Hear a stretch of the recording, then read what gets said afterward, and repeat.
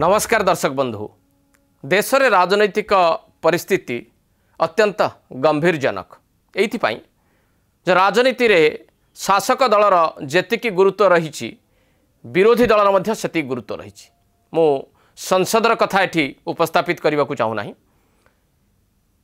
ବର୍ତ୍ତମାନ ଯଦି ଆପଣ ଦେଖନ୍ତି ଯେ ପ୍ରମୁଖ ବିରୋଧୀ ଦଳ ଦେଶରେ ହେଉଛି କଂଗ୍ରେସ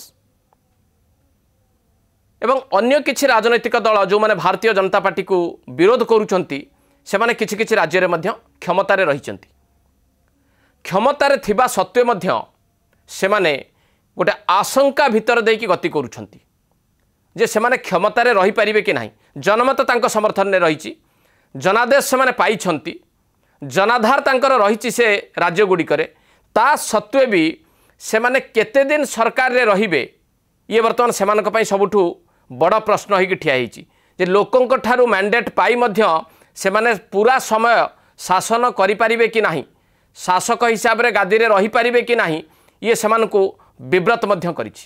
କେନ୍ଦ୍ରୀୟ ଯାଞ୍ଚ ଏଜେନ୍ସି ଗୁଡ଼ିକ ଯେଉଁଭଳି ଭାବରେ ଗୋଟିଏ କୋକୁଆ ଭୟ ସୃଷ୍ଟି କରିଛନ୍ତି ବିରୋଧୀ ରାଜନୈତିକ ଶକ୍ତିଗୁଡ଼ିକ ମନରେ ଯେଉଁଥିପାଇଁ କି ସେମାନେ ଚିନ୍ତା କରୁଛନ୍ତି ଯେ କିଭଳି ଭାବରେ ସେମାନେ ଅନ୍ତତଃ ପକ୍ଷେ ଆସୁଥିବା ସାଧାରଣ ନିର୍ବାଚନ ପର୍ଯ୍ୟନ୍ତ ବଞ୍ଚିକି ରହିବେ ବା ନିଜର ଅସ୍ତିତ୍ୱ ରଖିପାରିବେ ଯଦି ଆପଣ ସାମଗ୍ରିକ ଭାବେ ଦେଖନ୍ତି ପ୍ରମୁଖ ବିରୋଧୀ ଦଳ କଂଗ୍ରେସକୁ ନ୍ୟାସନାଲ୍ ହେରାଲ୍ଡ ମାମଲାରେ କେତେବେଳେ ସୋନିଆ ଗାନ୍ଧୀଙ୍କୁ ସମନ କେତେବେଳେ ରାହୁଲ ଗାନ୍ଧୀଙ୍କୁ ସମନ। ଥରେ ନୁହେଁ କି ଅଧେ ନୁହେଁ ଏକାଧିକ ବାର ସମନ। ନ୍ୟାସନାଲ୍ ହେରାଲ୍ଡ ଅଫିସ୍ ଚାରିପଟେ ପୋଲିସର ଛାଉଣି। କଂଗ୍ରେସ ଦପ୍ତରକୁ ମଧ୍ୟ ପୋଲିସ ଘେରାଉ କରୁଛି। ତେଣୁ ଏକ ପ୍ରକାର କୁହାଯାଉଛି ଯେ ଦେଶର ପ୍ରମୁଖ ବିରୋଧୀ ଦଳ କଂଗ୍ରେସ ଘେରାବନ୍ଦୀ ଭିତରେ ବର୍ତ୍ତମାନ ରହିଛି। ତେଣୁ ନିଜର ପଲିଟିକାଲ ଆକ୍ଟିଭିଟି କଂଗ୍ରେସ ଆଗକୁ ବଢ଼େଇ ପାରିବ କି ନାହିଁ ସେ ବର୍ତ୍ତମାନ ଗୋଟେ ବଡ଼ ପ୍ରଶ୍ନ କଂଗ୍ରେସ ପାଇଁ। ପ୍ରମୁଖ ବିରୋଧୀ ଦଳ ଆସୁଥିବା ରାଜ୍ୟଗୁଡ଼ିକର ନିର୍ବାଚନରେ କିଭଳି ଭାବରେ ଅଂଶଗ୍ରହଣ କରିବ ମନସ୍ତାତ୍ତ୍ୱିକ ଦୃଷ୍ଟିକୋଣରୁ ଲଢ଼େଇ କରିପାରିବ କି ନାହିଁ ଇଏ ବର୍ତ୍ତମାନ ପ୍ରତ୍ୟେକ କଂଗ୍ରେସ କର୍ମୀ ଏବଂ ନେତାଙ୍କୁ ମଧ୍ୟ ବିଚଳିତ କରିଛି। ଯେ ଯଦି ଏଇ ଢଙ୍ଗରେ କେନ୍ଦ୍ରୀୟ ଏଜେନ୍ସିଗୁଡ଼ିକ ଯାଞ୍ଚ ପଡ଼ତାଲ ଆରମ୍ଭ କରନ୍ତି ଘେରିବାକୁ ଚେଷ୍ଟା କରନ୍ତି ପ୍ରମୁଖ ବିରୋଧୀ ଦଳକୁ ତାହେଲେ ପ୍ରମୁଖ ବିରୋଧୀ ଦଳ ନିଜର ପଲିଟିକାଲ ଷ୍ଟ୍ରାଟେଜି କେତେବେଳେ ଡେଭଲପ୍ କରିବ? ଅନ୍ୟ ରାଜ୍ୟଗୁଡ଼ିକରେ ହେବାକୁ ଥିବା ନିର୍ବାଚନରେ ସକ୍ରିୟ ଭାବେ ଅଂଶଗ୍ରହଣ କରିପାରିବ କି? ମାନସିକ ସ୍ତରରେ କଂଗ୍ରେସ ସଶକ୍ତ ହୋଇକି ରହିବ ନା ଦୁର୍ବଳ ହୋଇଯିବ? ଇଏ ହେଉଛି ପ୍ରମୁଖ ଜାତୀୟ ଦଳ କଂଗ୍ରେସର ଅବସ୍ଥା।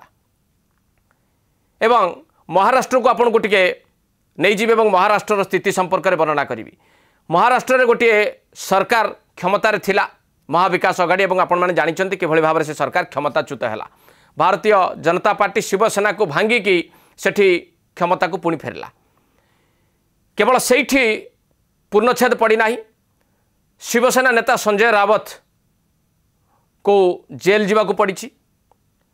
ସିଏ ଜେଲ୍ ଯିବା ପରେ ପୁଣି ତାଙ୍କ ପତ୍ନୀଙ୍କୁ ଇଡିର ସମନ କେବଳ ସଞ୍ଜୟ ରାବତ ନୁହନ୍ତି ପୂର୍ବରୁ ଆଉ କିଛି ଶିବସେନା ନେତା ମଧ୍ୟ ଇଡି ପଞ୍ଜାରେ ରହିଛନ୍ତି ଏବଂ ଆଉ କିଛି ଆତଙ୍କିତ ଅବସ୍ଥାରେ ଅଛନ୍ତି ଯେ ସଞ୍ଜୟ ରାବତଙ୍କ ପରେ କାହା ପାଳି ପଡ଼ିବ ଏବଂ ଦଳର ମୁଖ୍ୟ ଉଦ୍ଧବ ଠାକରେ ମୁଖ୍ୟମନ୍ତ୍ରୀ ପଦରୁ ଗଲେ ଦଳଟିକୁ ବଞ୍ଚାଇବା ପାଇଁ ବା ନିଜର ଅସ୍ତିତ୍ୱ ରକ୍ଷା କରିବା ପାଇଁ ସେ ବର୍ତ୍ତମାନ ଆଇନର ଲଢ଼େଇ ଲଢ଼ୁଛନ୍ତି। ସେଥିରେ ଦଳଟି ରହିପାରିବ କି ନାହିଁ ସିଏ ମଧ୍ୟ ଗୋଟେ ବଡ଼ ପ୍ରଶ୍ନ ଉଦ୍ଧବ ଠାକରେଙ୍କ ପାଇଁ ଏବଂ ଶିବସେନା ପାଇଁ। କେବଳ ମହାରାଷ୍ଟ୍ରରେ ଶିବସେନା ନୁହେଁ ଅନ୍ୟତମ ଦଳ ଯଦି ଦେଖିବେ N C P N C P ବି ଅସ୍ତିତ୍ୱ ବଞ୍ଚାଇବା ପାଇଁ ବର୍ତ୍ତମାନ ସମ୍ପୂର୍ଣ୍ଣ ନିରବତା ଅବଲମ୍ବନ କରିଛି। ଏନ୍ ସି ପିର କିଛି ନେତା ଯେଉଁମାନେ ପୂର୍ବ ସରକାରରେ ମନ୍ତ୍ରୀ ଥିଲେ ସେମାନେ ବି ଏବେ ଜେଲ୍ ଭିତରେ।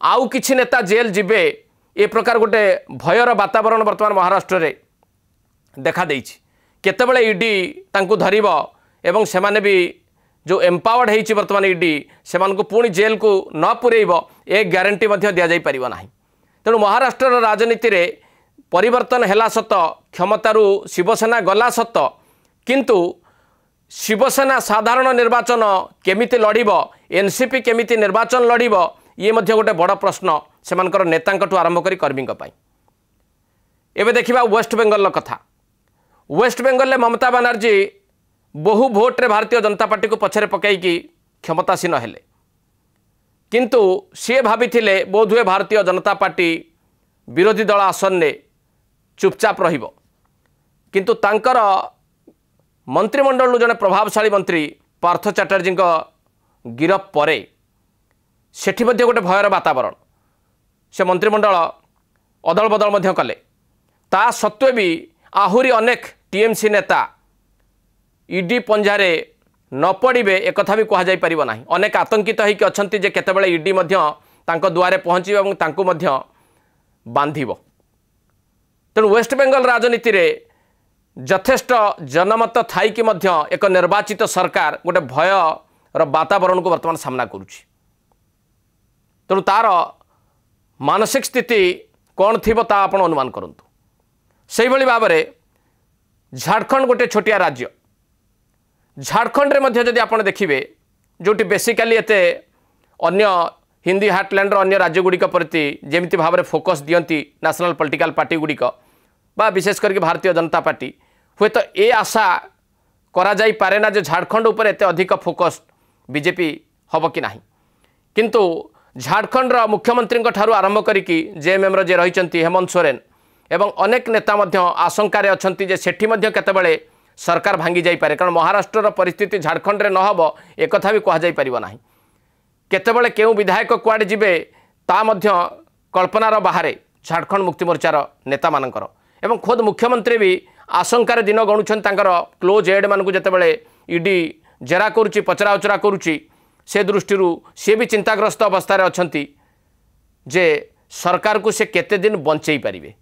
ଜନମତ ବା ଜନାଦେଶ ଥାଇକି ମଧ୍ୟ ଏ ପ୍ରକାର ବିବ୍ରତ ଏବଂ ବିଚଳିତ ହେଉଛନ୍ତି ବିରୋଧୀ ରାଜନୈତିକ ଶକ୍ତିଗୁଡ଼ିକ ଆଗକୁ ରହିଛି ଗୁଜରାଟର ନିର୍ବାଚନ ହିମାଚଳ ପ୍ରଦେଶର ନିର୍ବାଚନ କର୍ଣ୍ଣାଟକର ନିର୍ବାଚନ। ତେଣୁ ଆପଣମାନେ ଚିନ୍ତା କରନ୍ତୁ ଯେ ଏଭଳି ଗୋଟିଏ ସ୍ଥିତି ଭାରତବର୍ଷରେ କେବେ ଉପୁଜିଥିଲା। ଯାହା କୁହାଯାଏ ଯେ ଭାରତର ରାଜନୈତିକ ଇତିହାସରେ ଗୋଟିଏ ଏମର୍ଜେନ୍ସି ହୋଇଥିଲା ଏବଂ ସେତେବେଳେ ବିରୋଧୀ ପକ୍ଷ ନେତାଙ୍କ ଉପରେ ଏହି ପ୍ରକାର ଭାବରେ ଆକ୍ରୋଶ ସାଧିଥିଲା ସେତେବେଳେ କ୍ଷମତାରେ ଥିବା କଂଗ୍ରେସ ଦଳ ଆଜି ଯଦିଓ ଜରୁରୀକାଳୀନ ପରିସ୍ଥିତି ଜାରି ହୋଇନାହିଁ ଦେଶରେ କିନ୍ତୁ ରାଜନୈତିକ ଆକ୍ରୋଶକୁ ଦେଖିଲେ ସେଣ୍ଟ୍ରାଲ ଏଜେନ୍ସିଗୁଡ଼ିକର ଆଭିମୁଖ୍ୟକୁ ଦେଖିଲେ ନିର୍ବାଚିତ ସରକାର ଯେଉଁ ଢାଞ୍ଚାରେ ଭାଙ୍ଗି ଯାଉଛନ୍ତି ଜନାଦେଶ ବା ଜନାଧାର ଥାଇକି ମଧ୍ୟ ସେମାନେ କ୍ଷମତାରେ ପୁରା ସମୟ ରହିପାରୁନାହାନ୍ତି ଏସବୁଗୁଡ଼ିକୁ ଯଦି ଆପଣ ଆଲୋଚନା ଏବଂ ପର୍ଯ୍ୟାଲୋଚନା କରିବେ ତାହେଲେ ଆପଣ ଭାବନ୍ତୁ ଯେ ବିରୋଧୀ ତତ୍ତ୍ୱ ବିରୋଧୀ ରାଜନୈତିକ ଶକ୍ତି ବା ବିରୋଧୀ ରାଜନୈତିକ ଦଳ ଗଣତାନ୍ତ୍ରିକ ବ୍ୟବସ୍ଥାରେ ଆଉ ତିଷ୍ଠି ପାରିବେ କି ନାହିଁ ଆଉ ଯଦି ତିଷ୍ଠିବେ ନିଜର ଅସ୍ତିତ୍ୱ ବଞ୍ଚେଇ ରଖିବାକୁ ସେମାନେ ଚେଷ୍ଟା କରିବେ କିନ୍ତୁ ଆସୁଥିବା ନିର୍ବାଚନ ଯେଉଁ ରାଜ୍ୟଗୁଡ଼ିକରେ ଅଛି ବା ଆଗକୁ ଆସୁଥିବା ଦୁଇହଜାର ଚବିଶ ସାଧାରଣ ନିର୍ବାଚନ ସେମାନେ କିଭଳି ଭାବରେ ଲଢ଼ିବେ? ଏଠି ଶେଷ କରିବା ଆଜିର ପଲ୍ ଷ୍ଟୁଡ଼ିଓକୁ ନମସ୍କାର।